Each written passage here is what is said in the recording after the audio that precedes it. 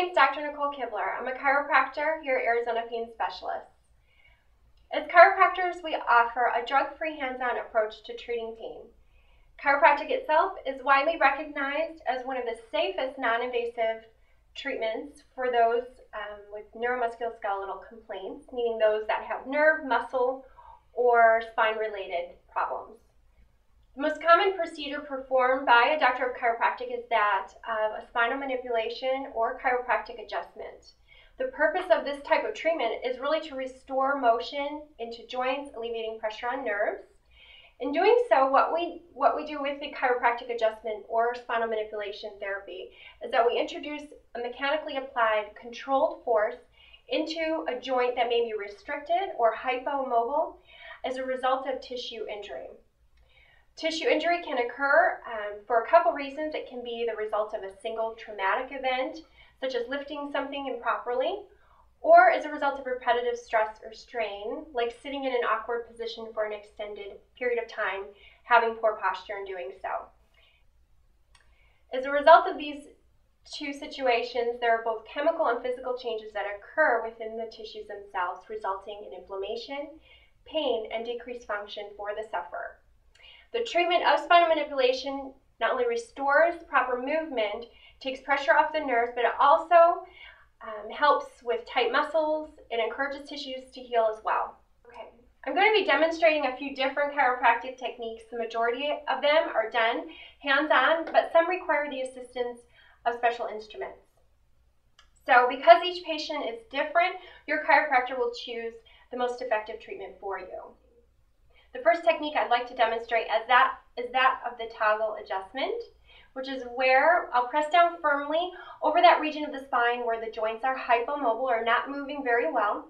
And with a quick and precise thrust, we'll adjust the vertebral segment in order to introduce motion into the joint again. Okay, so this is a demonstration of our toggle technique. Okay. So, McKenna, I'll have you take a deep breath in and out. Good, and all the way out. Great. Wonderful. The next technique I'll demonstrate is that of a table drop technique. With a quick thrust at the same time that that table's dropping, of course, we'll be able to introduce a movement into the pelvic region or lower back, which results in a much lighter adjustment.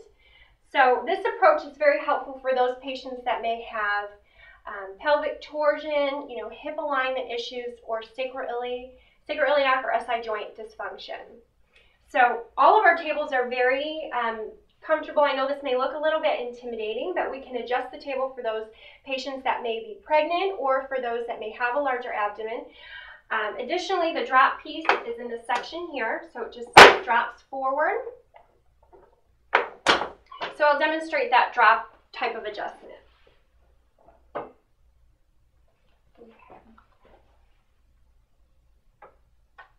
Okay. You'll hear, of course, a loud noise. That's just the table dropping downward. Again, this results in a much lighter and gentler type of adjustment. The next technique is that using the assistance of an instrument, a specialized instrument that's spring-loaded. And this type of in instrument is called an activator. It's a spring-loaded tool. You'll hear a clicking noise, but it's one of the gentlest forms of adjustment. So we like to use this technique for those patients that are, are wish to avoid the clicking or popping type of adjustment, or for those that have osteoporosis. So on those segments of the spine where the joints may not be moving freely, we'll just do a little bit of pressure with the tool, introducing that very light, gentle motion. This is also a great technique to use for extremity adjusting, such as the carpal bones within the wrist itself. The final technique that I'll be discussing today is that called the lumbar roll spinal manipulation or chiropractic adjustment technique.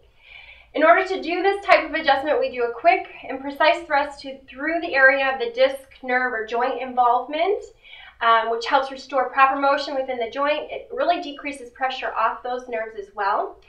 For this technique, many times we may hear a clicking or popping, which is actually a very positive thing, signifying that there's been some release of the pressure or gas within the joint itself. So for this technique, I'm going to be putting pressure on the lower back, counter pressure on the shoulder area. It's a very light movement, so McKenna, I'll have you take a deep breath in and out. Good. Very good. Go ahead and relax your legs. Simple as that. In the hands of experienced chiropractors, all these techniques are very safe to use on disc problems, facet syndrome, pinched nerves, even spinal arthritis and stenosis. When visiting your chiropractor or Arizona pain specialist, just make sure you're being very specific about the symptoms you have, which will help us offer you the most effective and safest treatment available, even if that entails referring you to another healthcare provider. I'd like to encourage you to tune in to learn more about how chiropractic can help alleviate your pain and help you achieve your optimal state of wellness. Additionally, we'd like to discuss further how chiropractic fits in with the multidisciplinary approach to treating pain.